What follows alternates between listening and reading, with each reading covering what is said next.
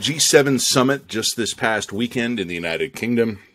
World leaders there, uh, hobnobbing, they're posing for pictures, doing doing all the stuff that we were used to them doing. If if anything could make me feel like normal is coming back, it is a international policy talk shop that doesn't really accomplish much. All right, I mean, cynicism aside, a billion doses for the developing world is great it's also just a drop in the bucket of what's needed. But all right, we, we won't be uh, we won't be negative about this. We'll we'll give credit where it's due.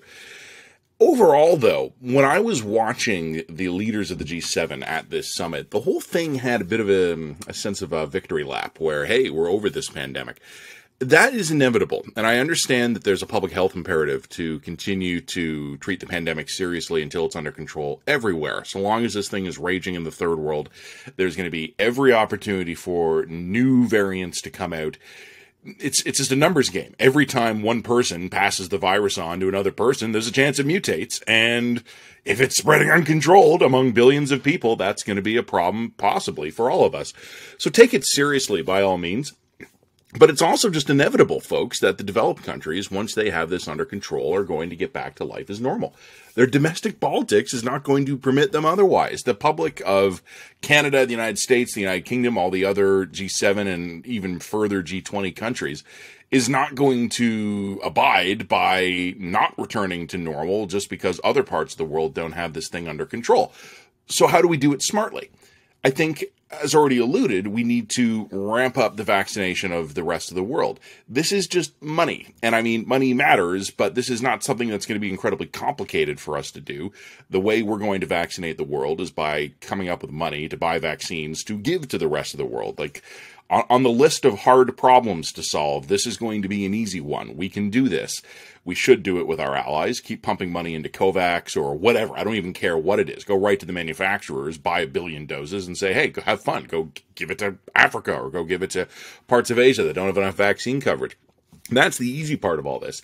The difficult part is going to be managing our return to normal while the rest of the world is not normal. There is pent up demand in this country for normalcy, for barbecues, for restaurants, for travel. I have, uh, I was saying just on the weekend to my wife, you know, some of our family lives in uh, the northwestern United States. Some of our family lives in western Canada. They live very close to each other. They can't see each other because of that dividing line of the border.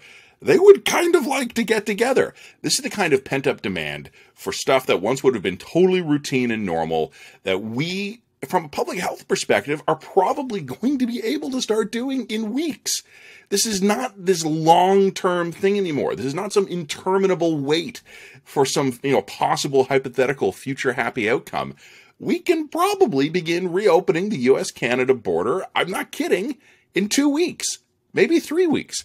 We're going to have to overcome the inherent small c conservatism of Canadian politicians. I don't mean that in a partisan way, obviously. I just mean in a, you know, um, hesitant, risk averse nature of Canadian politicians. That is going to be more of an obstacle for the next few weeks than actual public health concerns. The vaccine campaign is going really, really well better than expected. There's, you know, chaotic details at the, the ground level in, in my home province of Ontario, but the aggregate numbers are amazing and they're holding up generally comparably across the rest of the country. We're going to be able to start reopening soon, at least in terms of with the other advanced nations. Do we throw open the border to everyone? Maybe not. But we can do it with the G7, with the Americans at least we can probably do this actually really soon. a Couple of weeks from now, next month by the latest. Any delay beyond that is probably more about political caution than public health concern.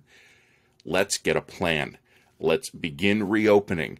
If we keep vaccinating at this rate, we're going to crush this thing sometime during the summer people will be very annoyed if we have a lag time between when we have actually beaten this thing and when our politicians are able to admit to themselves that the worst of this thing is truly behind us.